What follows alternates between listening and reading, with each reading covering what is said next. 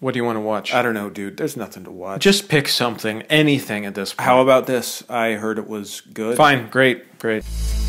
I really love doing drugs and committing crime.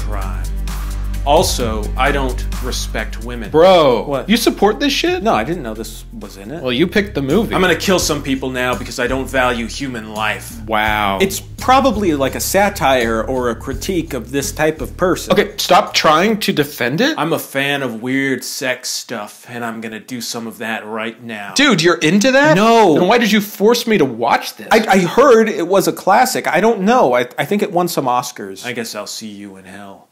Wow. Oh. Wow.